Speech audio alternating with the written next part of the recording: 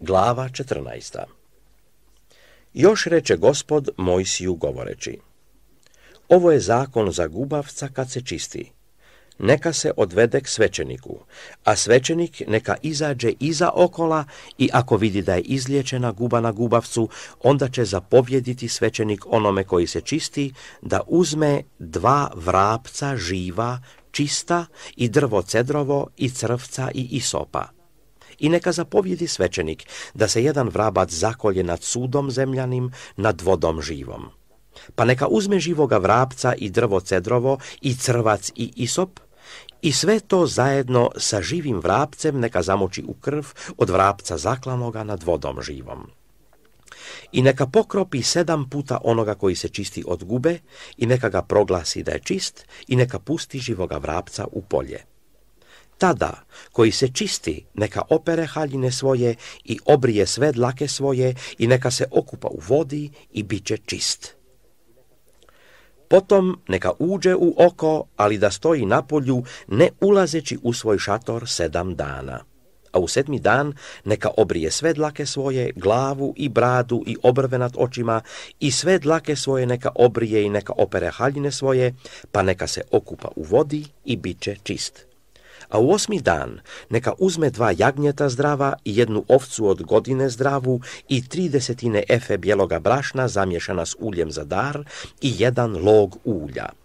A svećenik koji ga čisti, neka postavi onoga koji se čisti zajedno s tim stvarima pred gospodom na vratima šatora od sastanka.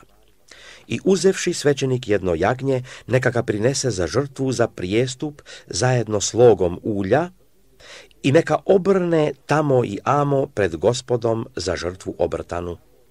A poslije neka zakolje jagnje na mjestu gdje se kolje žrtva za grijeh i žrtva paljenica na svetom mjestu, jer žrtva za prijestup pripada svećeniku kao žrtva za grijeh.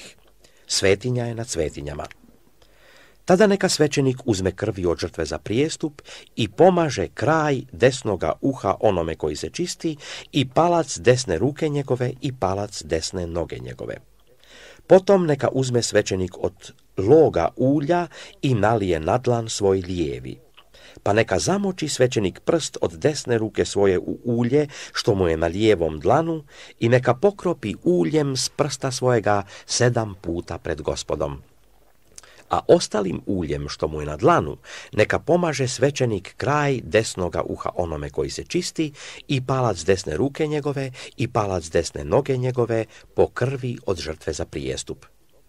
A što još ostane ulja na dlanu svećeniku, onim neka namaže glavu onome koji se čisti i tako će ga očistiti svećenik pred gospodom. Potom neka svećenik prinese žrtvu za grijeh i očistit će onoga koji se čisti od svoje nečistote, a poslije neka zakolje žrtvu paljenicu. I neka prinese svećenik žrtvu paljenicu zajedno s darom na oltaru i tako će ga očistiti i bit će čist.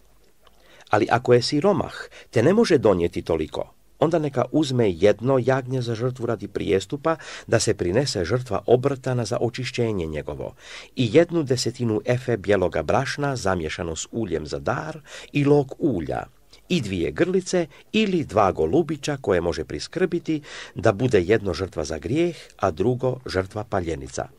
I to neka donese u osmi dan svojega čišćenja svećeniku na vrata šatora od sastanka pred gospodom. Tada svećenik neka uzme jagnje za prijestup i log ulja i to neka svećenik obrne pred gospodom za žrtvu obrtanu. I neka zakolje jagnje za žrtvu radi prijestupa i uzevši svećenik krvi od žrtve za prijestup, neka pomaže kraj desnoga uha onome koji se čisti i palac desne ruke njegove i palac desne noge njegove i ulja neka nalije svećenik na dlan svoj lijevi, pa neka zamoči prst od desne ruke svoje u ulje što mu je na lijevom dlanu i pokropi njim sedam puta pred gospodom.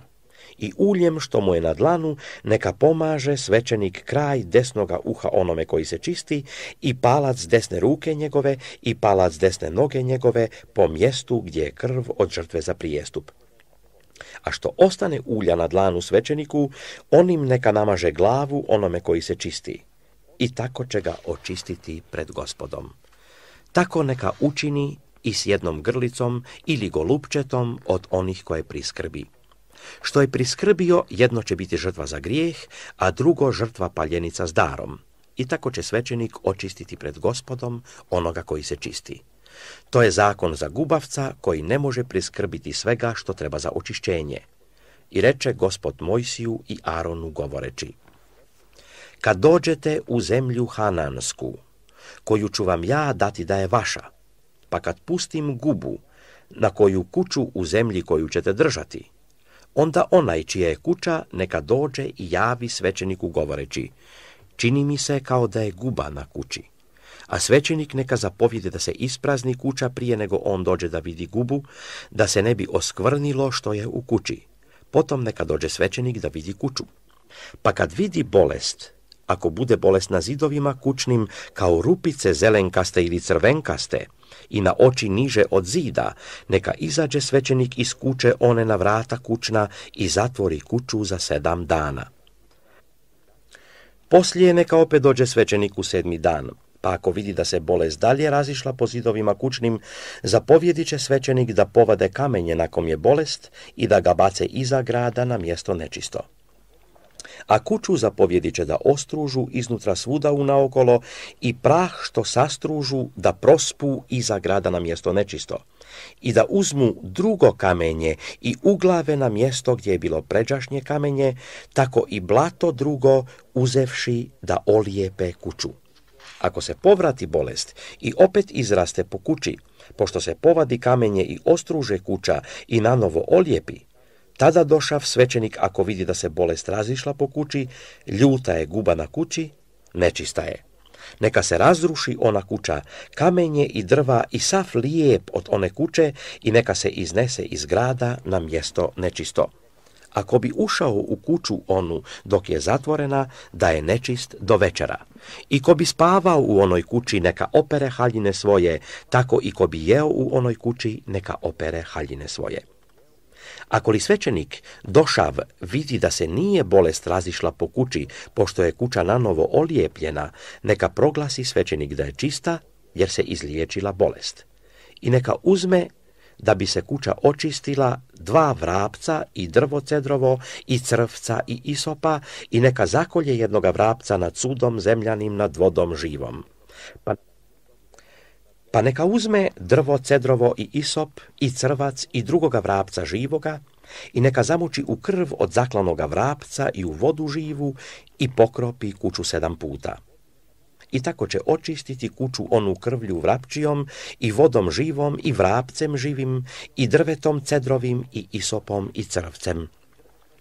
Pa onda neka pusti vrapca živoga iza grada u polje i očistit će kuću i bit će čista. Ovo je zakon za svaku gubu i za ospu, za gubu na haljini i na kući, i za otok, i za krastu, i za bubuljicu, da se zna kad je ko nečist i kad je ko čist. To je zakon za gubu.